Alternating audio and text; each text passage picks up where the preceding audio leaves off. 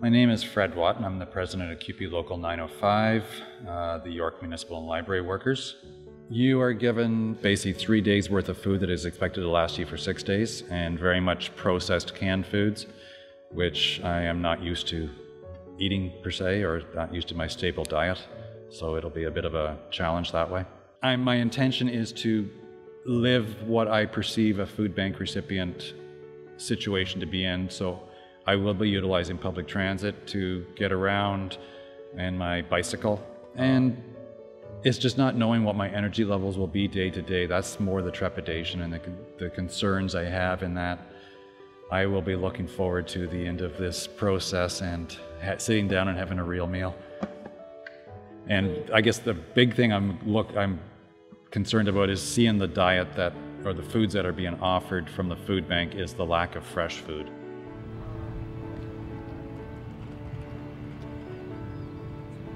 First day of our challenge here. Uh, we're just meeting at the Trinity United Church in Newmarket on Main Street. There's a meal program offered here to this church. I get to have this meal today here. As for what I'm going to expect today, it's a great mystery.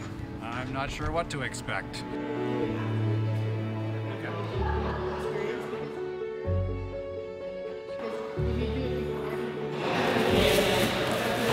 That's the bread for the week, yes. Yeah, so that's my bread supply for this week. So hopefully we're it'll make it through until Sunday evening. It is now 4:30 and I had my lunch at 12:30 and I'm as hungry as a bear.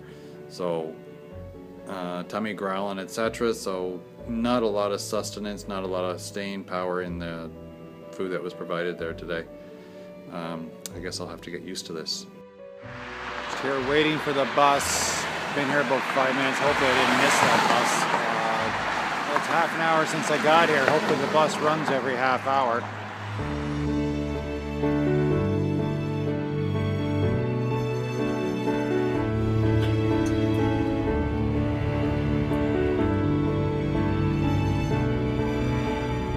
Just got off the bus, been on the road just over two and a half hours now. Uh, gonna instead of going to the office, I'm gonna go straight to the food bank at this point, as I'm too late to try and get to the office and back to the food bank in time. So I will check in in a few minutes. I'm just heading into the food bank uh, downstairs. This is to get my rations for the six-day challenge. So I get a three-day ration supply. So this is the form that you caramelizing, and then we found them. Okay.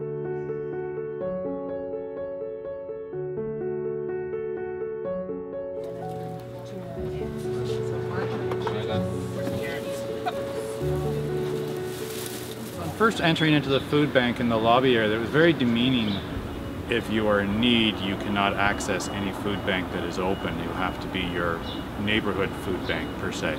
Like I was initially rejected here because my, I'm, we're, we're in Newmarket where I work, but in Markham where I live, and they would have rejected me yet because of this challenge they allowed me to come in. But it is very upsetting to discover that. Tough ride going up the hill, didn't realize Newmarket had so many hills. Just working on getting to the office now. A little bit more to go yet.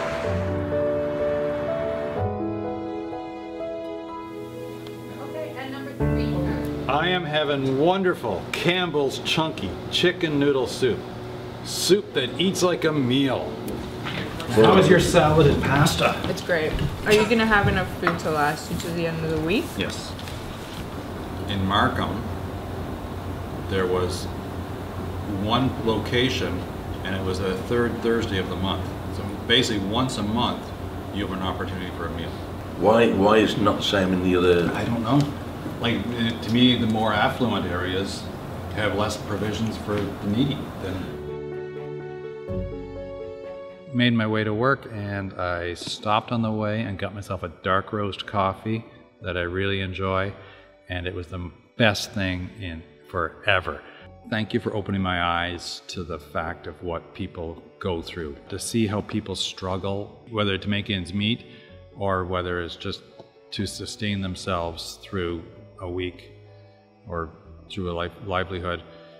It's definitely not easy. It's a real struggle. And like I said, I will be talking to my local on if what the feelings of my executive are on how we can move, how we may be able to move forward with this, and also politicians. Like, to me, it's shameful that um, our affluent areas do not provide anything.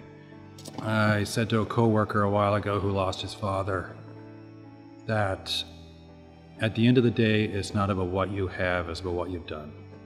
And if you can give back to your community, you'll remember, uh, you'll be remembered a lot longer.